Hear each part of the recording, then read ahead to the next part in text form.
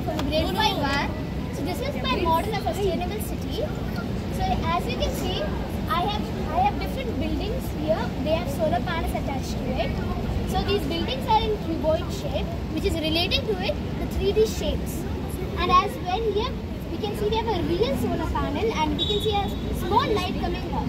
This means the light is coming onto the solar panel and starting this generator.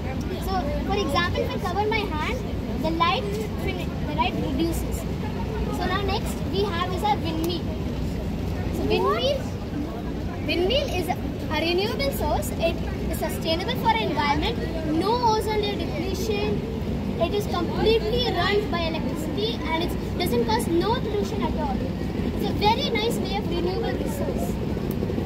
And as well, these two resources which are used are found everywhere on earth. For example, sunlight. We can find anywhere on earth. So it's way easier to get those electricity produced. Thank you.